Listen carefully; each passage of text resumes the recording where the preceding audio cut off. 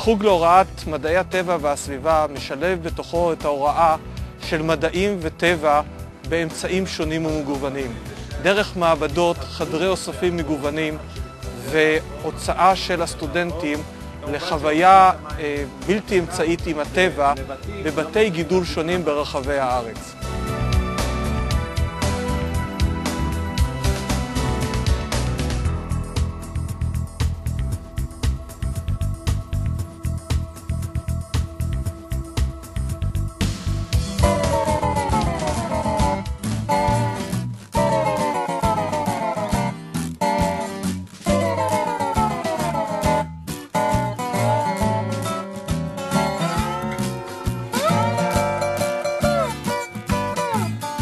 ואז הוא נעצר מעל האבן ומוציא תיק זרע, מניח אותה על האבן.